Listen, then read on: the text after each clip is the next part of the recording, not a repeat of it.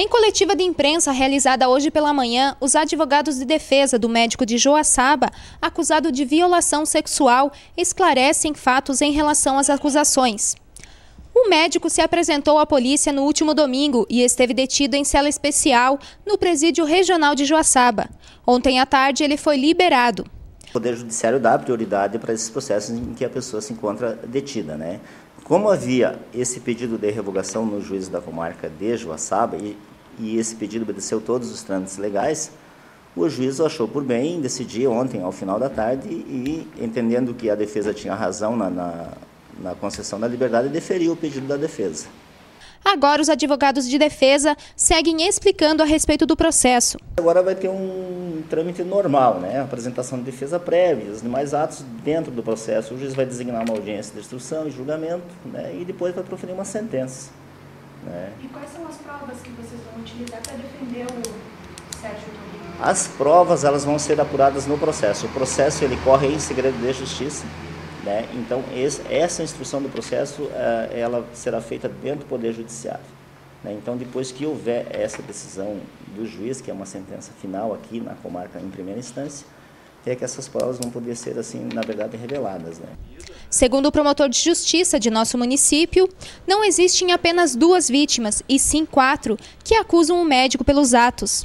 Nesses últimos dias, o Ministério Público tem recebido uma série de denúncias é, via telefone é, pessoas que vêm aqui na promotoria é, contar fatos bastante semelhantes àqueles que, que estão no, nos processos.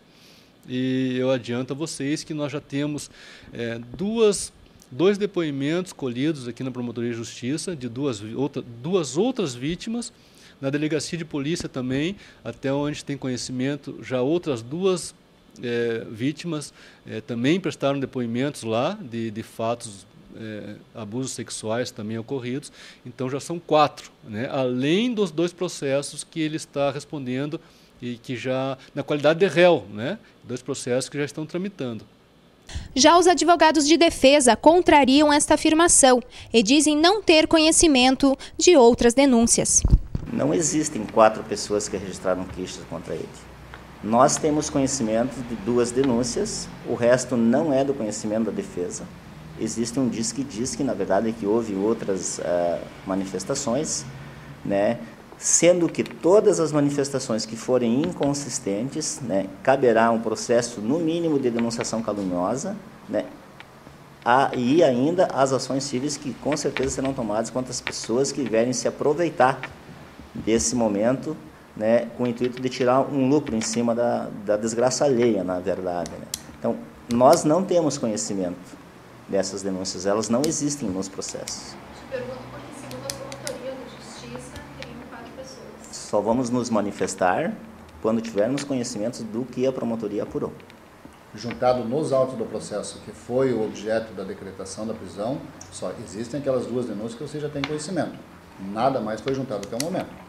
Em relação à situação da família, o advogado Davi afirma que todos estão abalados e procuram trabalhar juntos para a absolvição do médico. Óbvio que a família, sem dúvida nenhuma, está emocionalmente abalada, né? como ele próprio, é, até por questão da, da prisão. Né? Ele se entregou voluntariamente, como vocês têm conhecimento disso. Nós provamos isso nos autos, inclusive, que ele efetivamente estava numa viagem. O retorno dessa viagem voluntariamente foi apresentado ah, para a autoridade policial. E a família, ah, é importante destacar a união da família, no sentido de dar a ele todo o apoio né, nesse momento difícil, e também a manifestação da população. Nós recebemos inúmeras ah, declarações, inclusive por escrito, que foi juntado, inclusive, nos autos do processo, de pessoas, de pacientes dele de 20 anos, de 15 anos, de 30 anos, entende? Então, nós temos muito material e esse apoio da população, essa manifestação favorável da população também é um fator muito importante e positivo para a situação dele, sem dúvida nenhuma.